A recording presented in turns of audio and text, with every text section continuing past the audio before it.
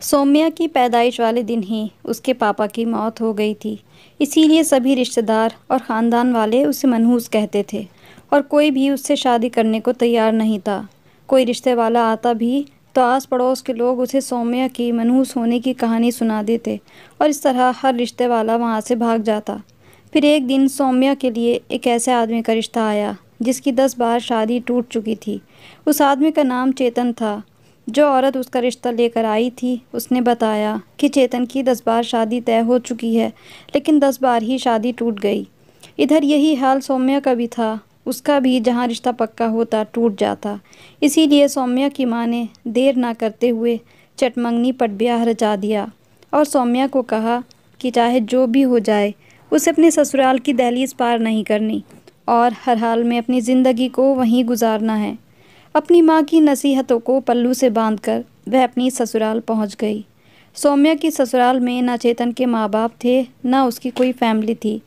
बस वह अकेला ही था। रात को सौम्या जब चेतन का इंतज़ार कर रही थी, तब अचानक वह कमरे में आया। उसकी नज़र जैसे ही चेतन पर पड़ी, उसका बदन एकदम से ठंडा हो गया और गले में जैसे कांटे खड़े हो गए थे, क्योंकि चेतन अपने साथ दस कोई दरवाजे को ज़ोर ज़ोर से पीट रहा था तो जल्दी से सौम्या उठकर भागी। इतनी देर में दरवाज़ा दो तीन बार ज़ोर से खटखटाया गया था। आ रही हूँ, कौन है इतनी जल्दी में? उसने चीख कर पूछा। आ रही हूँ, कौन है? मगर उधर से कोई जवाब नहीं आया। उसने जल्दी से आगे बढ़कर दरवाज़ा खोला और सामने खड़ी माँ को देखकर हैरान रह गई। वह बहुत ज़्यादा परेशान थी। माँ अभी कुछ देर पहले ही तो घर से सामान लेने बाहर निकली थी, मगर इतनी जल्दी लौट भी आई थी। माँ अभी कुछ सामान बाज़ार से लेने निकली ही थी, लेकिन इतनी जल्दी कैसे लौट आई? उसने माँ के हाथों की तरफ़ देखा। उनके पास कोई सामान नहीं था, और चेहरे चेहरे की तो जैसे हवाइयाँ उड़ी हुई थी, वह तो जैसे सदमे की हालत में थी। सौम्या ने अपनी माँ का हाथ पकड़कर झिंझोड़ा तो वह होश में आई, और सौम्या ने उन्हें चारपाई पर बिठा दिया, और पूछने लगी, आखिर हुआ क्या है माँ? माँ जब भी कुछ ना बोल पाई सौम्या ने एक गिलास पानी लाकर उन्हें पिलाया। माँ ने पूरा का पूरा गिलास एक ही सांस में खाली कर दिया। सौम्या की माँ के, होश आवास अब कुछ ठीक हुए। तो वह सौम्या की सूरत देखकर रोने लगी। ऐसा क्या हो गया माँ? क्या तुम्हारे साथ कुछ हो गया है? उसने फिर से पूछा, कि आखिर माँ क्या हो गया है? कुछ बताती क्यों नहीं? उसकी माँ हकलाते हुए बस इतना ही कह पाई कि सोमेश। सोमेश का नाम सुनकर सौम्या का दिल काँप उठा था। क्या हुआ माँ सोमेश को? माँ की हालत देखकर सौम्या सहन नहीं कर पा रही थी। उसने आगे बढ़कर अपनी माँ को झिंझोड़ा। माँ, मुझे बताओ, क्या हुआ सोमेश को? सब ठीक तो है ना? सौम्या किसी अनहोनी को महसूस कर रही थी। वह सोमेश, एक कार एक्सीडेंट में। माँ इतना ही कह पाई थी कि इतना सुनते ही सौम्या का बदन ठंडा पड़ता चला गया। माँ ने बड़ी मुश्किल से अपनी बात पूरी की कि वह नहीं बचा। यह सुनकर सौम्या का दिमाग चकराया और वह गिर पड़ी। जब सौम्या को होश आया तो वह लगातार रोए जा रही थी और यही सोच रही थी कि जो कुछ उसकी माँ ने कहा, क्या वही सच है और ऐसा कैसे हो सकता है? यह सदमा सौम्या सह नहीं पाई थी और वह चारपाई से लग गई। दरअसल सौम्या अपनी चारों बहनों में सबसे छोटी, चौथे नंबर की बहन थी। सौम्या से बड़ी तीन बहनें थीं। चौथी बार सौम्या के माँ बाप और सभी ख़ानदान वालों को पूरी उम्मीद थी कि इस बार उनके घर में बेटे की पैदाइश होगी। लेकिन जब चौथी बार भी सौम्या पैदा हुई तो ये बात उसके पिता को बर्दाश्त ना कर सके। और उसी दिन रात को उनका दिल का दौरा पड़ा और वे हमेशा के लिए सब कुछ छोड़कर चले गए। पूरे गाँव में ये बात फैल गई और सभी सौम्या को अपने बाप की मौत का जिम्मेदार ठहराने लगे और उसे मनहूस कहने लगे। कोई भी उसे प्यार नहीं करता था। यूँ ही उसका बचपन गुजरा और बड़े होने तक उसको लोगों और अपनों के ऐसे बर्ताव की आदत पड़ चुकी थी। धीरे धीरे वक्त गुजरा और चारों बहनें बड़ी हो गईं। सौम्या की माँ को अपनी बेटियों की शादी की बहुत फ़िक्र थी। इसीलिए उन्होंने एक के बाद एक जल्दी जल्दी अपनी तीनों बेटियों की शादी कर दी। फिर एक दिन सौम्या के लिए सोमेश का रिश्ता आया। ये सौम्या के पड़ोस में ही रहता था। लड़का पढ़ा लिखा था और शरीफ था। सौम्या की माँ को सोमेश बहुत पसंद था। इसीलिए सौम्या की माँ ने कुछ दिन सोचने का टाइम तो मांगा, लेकिन वह इस रिश्ते के लिए दिल से तैयार थी। इसीलिए उन्होंने अपनी बेटियों को बुलाकर इस रिश्ते के लिए हाँ कर दी और सोमेश और सौम्या की मंगनी हो गई। अभी इस मंगनी को एक महीना ही गुजरा था। अभी तो सौम्या अपनी मंगनी की पूरी तरह खुशी भी न मना पाई थी कि सोमेश एक कार एक्सीडेंट में अपनी जान गंवा बैठा था। सोमेश की मौत की खबर ने जहाँ उसके घर वालों पर बिजली गिरा दी, वहीं सौम्या अपनी हालत खुद नहीं समझ पा रही थी। कि वह क्या करे, कहाँ जाए। उसका दुख के मारे बुरा हाल था और दिल बैठा जा रहा था। उसकी दुनिया अंधेरी हो गई थी, लेकिन आसपास के लोगों को कहाँ परवाह। वह अपनी ज़बान के तीर मारने से बाज ना आए, और अब की बार तो सौम्या को मनहूसियत का सर्टिफिकेट दे दिया गया था। उसके सीने पर सजा मनहूसियत का तमगा, जो ज़रा भूली बिसरी यादों में शामिल हुआ था, दोबारा से ताज़ा हो गया। उसे फिर से मनहूस कहा जाने लगा, जो अपने होने वाले पति को खा गई थी। लोगों की ज़बान से निकलने वाले तीर उसके दिल में घुसते चले जाते। किसी की ज़बान तो नहीं पकड़ सकती थी, लेकिन अब तो वह खुद भी अपने आप को मनहूस ही समझने लगी थी। उसे लगने लगा था कि लोगों की बातों में कुछ तो सच्चाई है। सारा दिन खुद को कोसती रहती, उसकी माँ उसकी हालत पर बहुत ज़्यादा दुखी थी। वह सौम्या को समझाती और उसे हौसला देती कि यह सब नसीब के खेल हैं। तेरे नसीब में ही बर्बादी लिखी है तो कोई क्या कर सकता है?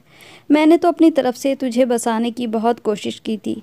सौम्या जितना दुख करती, उतना कम था, लेकिन वक्त हर ज़ख्म को भर देता है। लेकिन सौम्या को ऐसी चोट लगी थी, जिसका ज़ख्म अभी तक नहीं भर पा रहा था। उसके मंगेतर सोमेश की मौत को चार साल गुजर गए थे, और सौम्या अभी भी उसकी याद में तड़पती थी।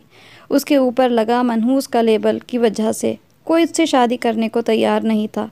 हालाँकि सौम्या को खुद भी अब शादी में कोई दिलचस्पी नहीं रही थी, लेकिन उसकी माँ बूढ़ी हो चली थी और वह जल्दी से जल्दी सौम्या की शादी करना चाहती थी।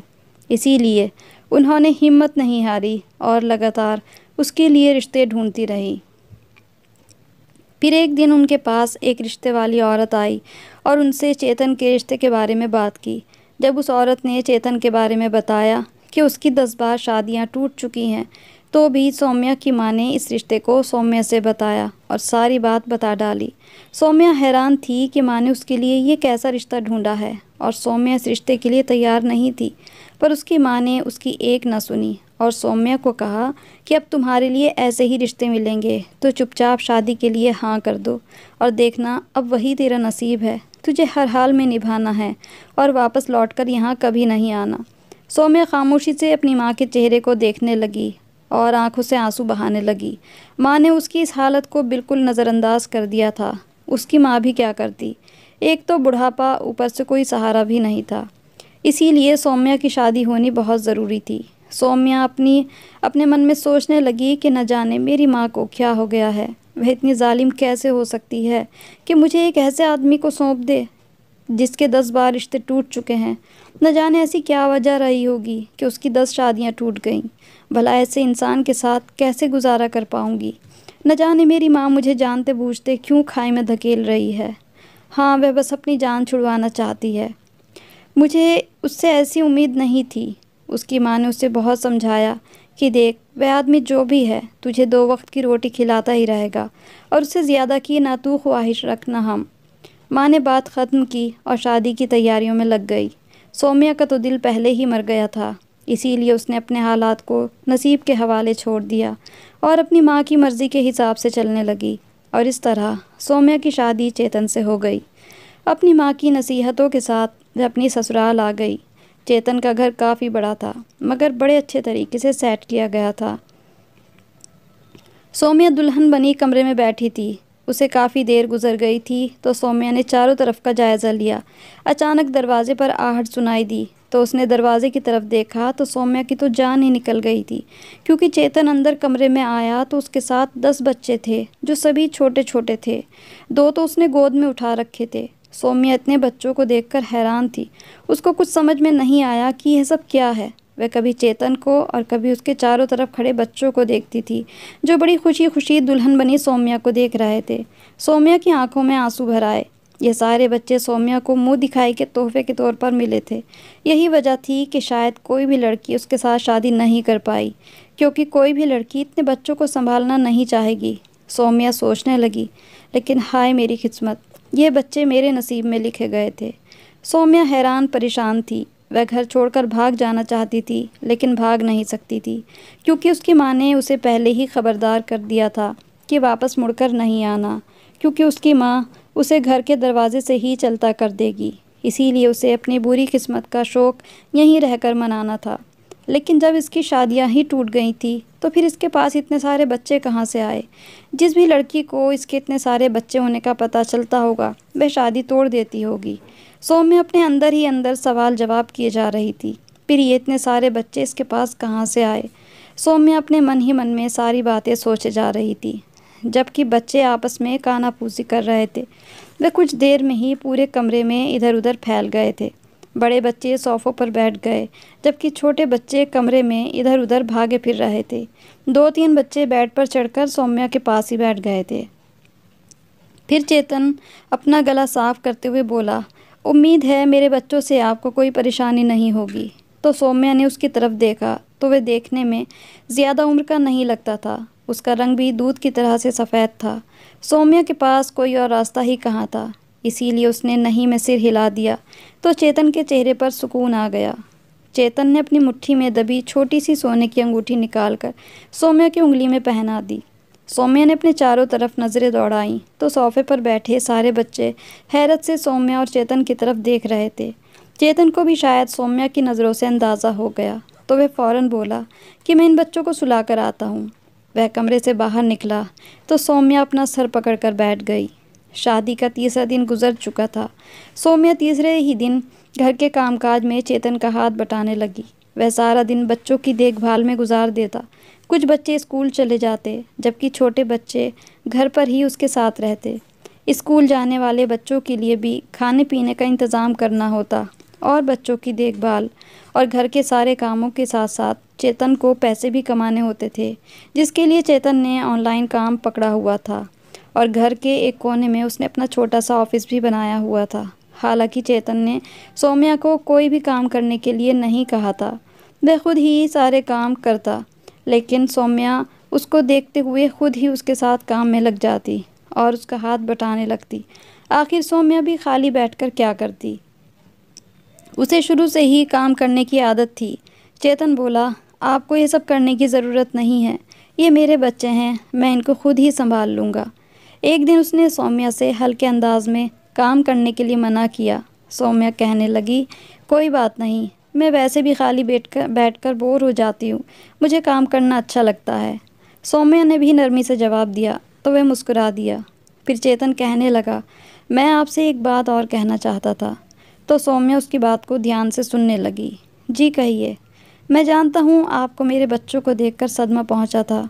अगर आप वापस अपने घर जाना चाहती हैं तो जा सकती हैं। मैं आपको बिल्कुल कसूरवार नहीं ठहराऊँगा। क्योंकि शादी से पहले आपको ये सच्चाई शायद नहीं पता हो। इसीलिए आप अपने फ़ैसले करने के लिए पूरी तरह से आज़ाद हैं। उसकी बात सुनकर सौम्या चौंक गई थी, क्योंकि वह बिल्कुल ठीक कह रहा था। सौम्या को उसके दर्जन भर बच्चे देखकर सदमा पहुँचा था और वह सारी ज़िंदगी उन बच्चों की सेवा करके नहीं गुजार सकती थी। लेकिन वह क्या करती? उसकी माँ ने तो उसे पहले ही आगाह कर दिया था कि वह वापस कभी लौट के उनके पास नहीं आएगी। और सौम्या के पास जाने के लिए कोई ठिकाना भी नहीं था। और वैसे भी पहले ही सारे ख़ानदान में मनहूस थी, उसे कोई भी अपने घर में घुसने नहीं देता।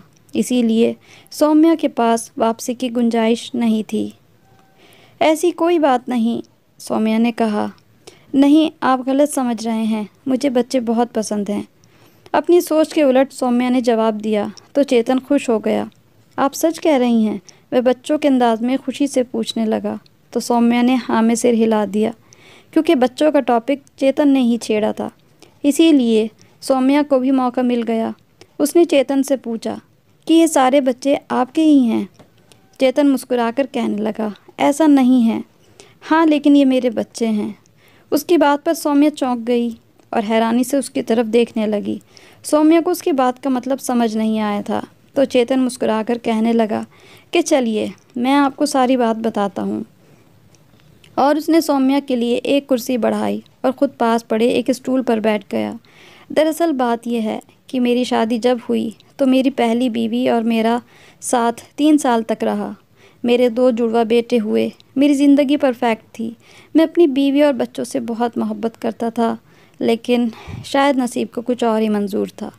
एक एक्सीडेंट में मेरी बीवी और दोनों बच्चे गुजर गए, जबकि मैं बच गया। वह तीनों मुझसे इकट्ठे ही छोड़कर चले गए थे। मैं इस कदर गहरे सदमे में था कि मेरा दिल चाहता कि मैं भी मौत के आगोश में चला जाऊँ। मेरा दिन का सुकून रातों की नींद ख़त्म हो चुकी थी। किसी काम में मेरा दिल नहीं लगता था। हर वक्त मैं अपने बीवी बच्चों को याद करके तड़पता रहता था। एक एक चीज़ उनकी मुझे उनकी याद दिलाती थी। उनकी याद से ख़ुद को बचाने के लिए मैंने हर तरीका अपनाया, लेकिन मुझे फिर भी सुकून नहीं मिला था। अपनी बीवी बच्चों का सभी सामान मैंने गरीबों में बांट दिया। और एक नया घर लेकर नई जगह पर रहने लगा। लेकिन इसके बाद भी मुझे चैन न मिला। वहाँ भी मैं हर पल बेचैन रहा था एक बार मैंने सड़क पर दो बच्चों को बैठे पाया। वह फटे पुराने कपड़ों में सड़क पर बैठे भूखे रो रहे थे। मैं उनके पास गया और उनसे रोने की वजह पूछी। तो उन्होंने मुझे बताया कि वह यतीम हैं और दो दिन से भूखे सड़क पर भीख मांग रहे हैं। लेकिन किसी ने भी उनके हाथ पर कुछ नहीं रखा था। मुझे उनको देखकर बहुत दुख हुआ। मैंने उनको खाना खिलाया तो वह जल्दी जल्दी खाना खाने लगे। मैं चुपचाप उन्हें देखता रहा। मेरे दिमाग में ये ख्याल आया कि जिस तरह मेरे बच्चे दुनिया से चले गए, ऐसे बहुत से बच्चे दुनिया में मौजूद हैं, जिनके माँ बाप उन्हें छोड़कर चले गए हैं, और वे यतीमी की ज़िंदगी गुजारने पर मजबूर हैं। मैं तो इतना बड़ा हूँ, खुद को संभाल सकता हूँ। लेकिन ये छोटे छोटे बच्चे अपने आप को नहीं संभाल सकते। इन्हें कितनी तकलीफ़ का सामना करना पड़ता होगा। यही सोचते हुए मैं उन दोनों बच्चों को अपने साथ, अपने घर ले आया और मैंने उन्हें अपना बेटा बना लिया। मैं बच्चों को बाप का प्यार देने लगा और मुझे ये सब करके इतना सुकून मिला कि मैं अपनी बीवी बच्चों के सदमे से बाहर निकलने लगा। मैं अपनी बीवी बच्चों को याद तो करता, लेकिन मुझे अब इतना दुख ना होता जितना पहले होता था, क्योंकि मैं कुछ बच्चों का सहारा और आसरा बन गया था। लेकिन अब मुझे महसूस होने लगा कि इन्हें माँ के प्यार की भी ज़रूरत है। इसीलिए मैंने दूसरी शादी करने की सोची। लेकिन जैसे ही उस लड़की को पता चला कि मैं दो बच्चों को अपने घर रखा हुआ है तो उसने मुझसे वह रिश्ता ख़त्म कर दिया। हालाँकि शादी की तारीख तय हो चुकी थी। उसका कहना था कि उसे यतीमों को संभालने का कोई शौक़ नहीं है। वह कहती थी कि तुम इन बच्चों को वहीं सड़क पर छोड़ आओ, जहाँ से ये मिले थे। लेकिन मेरे लिए ऐसा करना मुमकिन नहीं था। उस दिन के बाद से मैंने ये इरादा कर लिया कि मैं एक ऐसी लड़की के साथ ज़िंदगी गुजारूँगा जो हँसी खुशी मेरे बच्चों को यतीम समझने के बजाय उनको मेरे बच्चे ही समझकर पालेगी। इसीलिए मैं रिश्ते पर रिश्ते ढूंढता रहा और करता रहा। मैंने कभी किसी को नहीं बताया कि ये मेरे नहीं बल्कि यतीम बच्चे हैं। मुझे जो भी बच्चा लावारिस यतीम नज़र आता, मैं उसे अपने घर ले आता और उसे बाप का प्यार देता। मैं शादी भी इसीलिए करना चाहता था कि शायद मुझे कोई ऐसी औरत मिल सके, जो इन बच्चों को माँ का प्यार भी दे सके। लेकिन तुमसे पहले आज तक कोई ऐसी औरत नहीं मिली, जो मेरे साथ इन बच्चों को भी कबूल करती। हर औरत मेरे बच्चे को देखकर यही कहती कि या तो इन्हें यतीम खाने छोड़ाओ, या इनके लिए अलग आश्रम बनाओ। आश्रम में इन बच्चों को रखने को मैं तैयार नहीं था। मुझे उनकी सोच पर हैरानी होती कि कैसी औरतें हैं, जो घर तो अपने कब्ज़े में करना चाहती हैं लेकिन मेरे बच्चों को अपनाने को तैयार नहीं। मुझे उम्मीद थी कि मुझे एक दिन एक ऐसी नेक औरत ज़रूर मिलेगी, जो मेरे बच्चों को अपने बच्चे समझते हुए कबूल कर लेगी। शादी की पहली रात, मुझे तुमसे यह उम्मीद थी कि शायद तुम भी ये घर छोड़कर हमेशा के लिए चली जाओगी, लेकिन तुम नहीं गई। तुमने मेरे साथ साथ इन बच्चों को भी अपना मान लिया और मेरे दिल में उतर गई। मैं खुश हूँ कि इन बच्चों को एक माँ भी मिल गई। अब हम दोनों इन्हें माँ और बाप दोनों का प्यार दे सकते हैं। उसने मुस्कुराते हुए बात ख़त्म की थी। अपने पति की कहानी सुनकर सौम्या बहुत शर्मिंदा हुई थी। उसने तो कभी ऐसा सोचा भी नहीं था कि इतना अच्छा इंसान जो इतने बच्चों को एक साथ पाल कर कितना नेक काम कर रहा था, वह तो सारी ज़िंदगी अपनी उलझनों में घिरी रही थी। उसने कभी किसी की मदद करने का सोचा भी नहीं था। वह हमेशा खुद को मनहूस सोचती रही थी। लेकिन आज उसको समझ आया था कि वह कितनी खुशकिस्मत थी कि उसे ऐसे नेक काम के लिए चुन लिया गया था। उसने मुस्कुराते हुए चेतन का हाथ थाम कर उसके कंधे पर सिर टिका दिया था।